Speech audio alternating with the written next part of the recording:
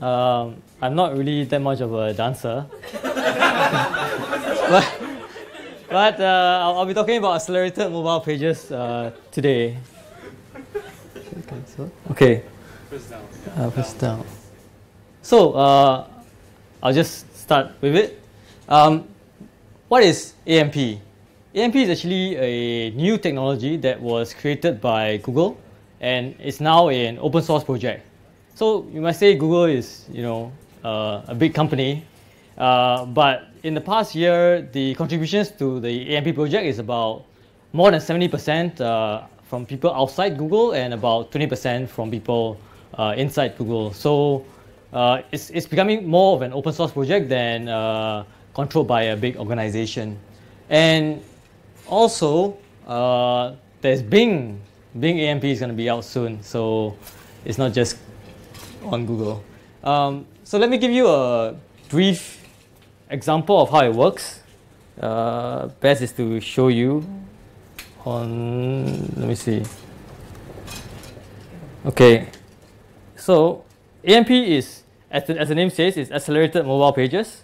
And that means it only works when you're on mobile. So let's say you move into a iPhone and then you search, let's say world news. Okay, and you get these uh, search results with this uh, lightning icon beside the result itself. This indicates that this is an AMP article or AMP page. When you click on it, the page will load instantly. Another cool feature is that you can jump from uh, page to page uh, just by scrolling like this. So you're moving through the AMP carousel here, and then you're going from article to article from your search result. So instead of going to the page, and and then let's say you want to see another result, you go press back, and then you press another result. You can just scroll as you would uh, a carousel, like this. So it's, it's very cool. So, but it seems like BBC is quite has quite a number of AMP pages for this result, so it's showing up, but it's uh, generally a bit more varied. Okay share oh not share done I think it's present. Okay uh, so another another feature why uh, someone would be interested in AMP pages is that it's lightning fast. It's instantaneous. That means the moment you see the result and then you click on it uh, it loads instantly and you don't have to wait for the page to load. So there was a survey done where it says about more than 50% of the user will leave your website if uh, it takes longer than three seconds to load. And later on the next page, I'll show you that for companies such as Amazon, Walmart, Google, um, load time does matter. And the faster you can make your site, the better uh, business uh, results you can get.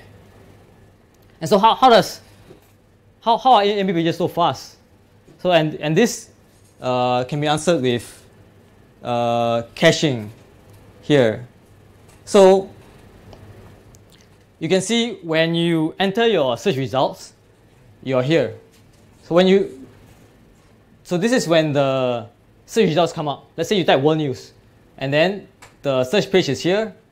And while you are looking at the results, like thinking of what to click, um, it preloads, the browser preloads the AMP pages and then uh, it pre-renders it in the background.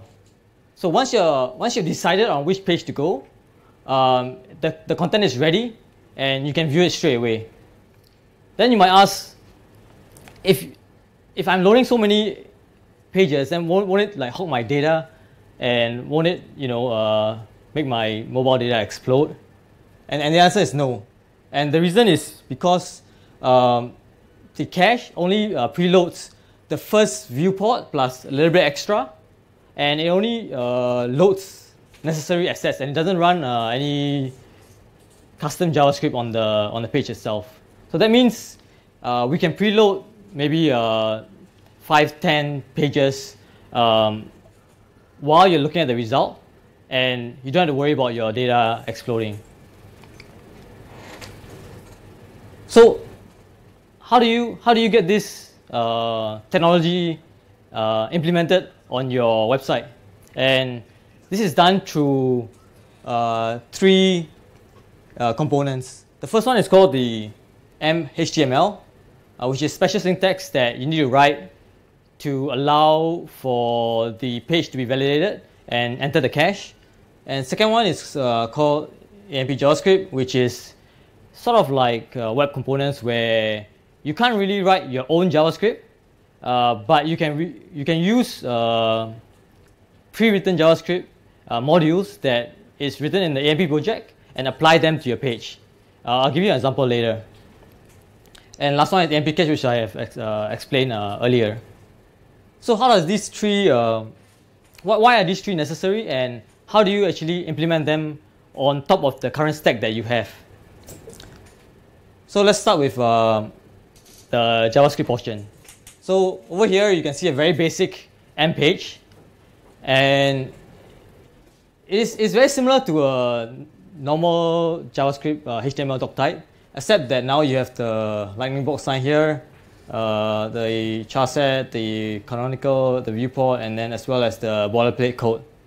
So it's really very similar to how you normally write um, your HTML code. It's just that now you have to also comply to spe uh, special uh, AMP syntax to to be to be valid for AMP.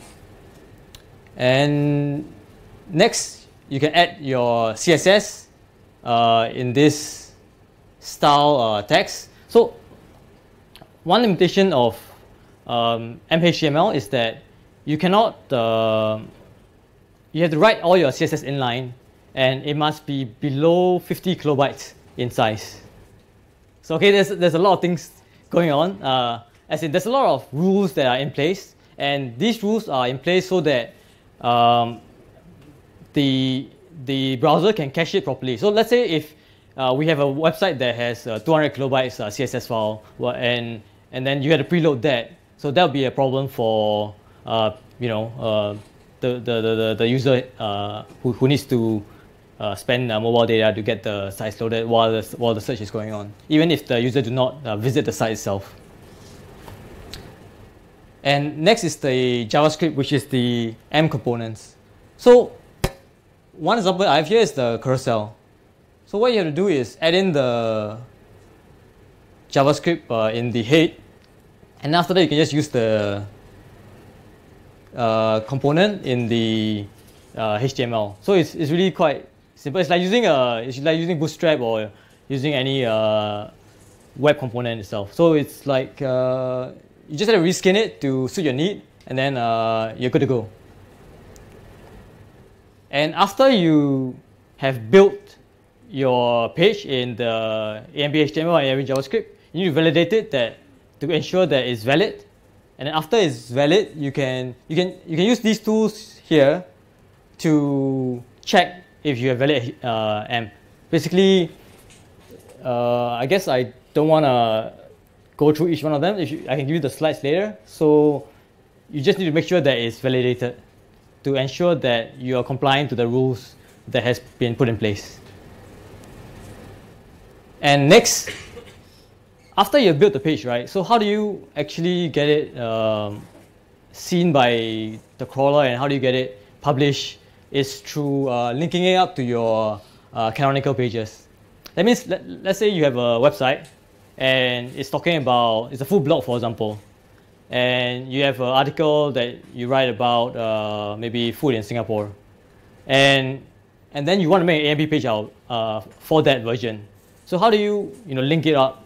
Is that you have to add the uh, AMP HTML uh, link uh, like the syntax to your existing uh, code, and then in the AMP page itself, you add the canonical uh, uh, tag to it, and that's, that's all you kind of need to do.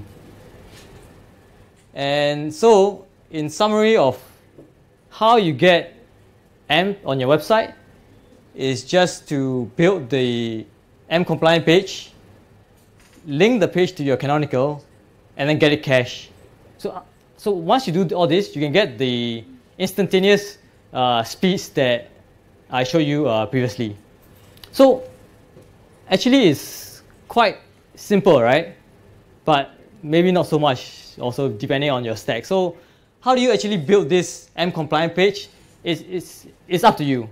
Because in the end, what you need to do is once the crawler reaches your site, it needs to, it needs to see a valid uh, AMP HTML code. So let's say you're using a Vue or Angular or React or, or Ruby or whatever.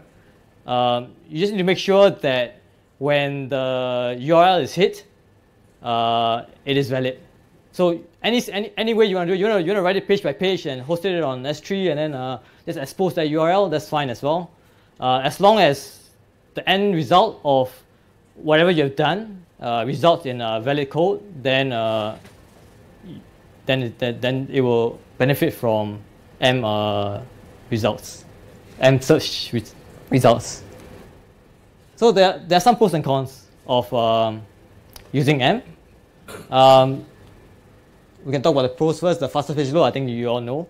Better SEO is another another result of better page load, and Google gives a bit of stronger SEO to AMP pages just because they can.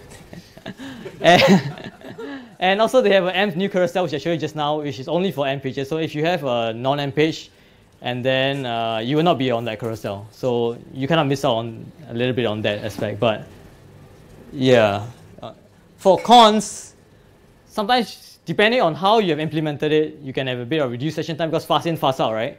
If you can enter a website very easily, you, you can also exit very easily. Uh, and also maybe depending, some, some it depends on the your, your site itself. Like if the pages that you implemented your AMP code on is something that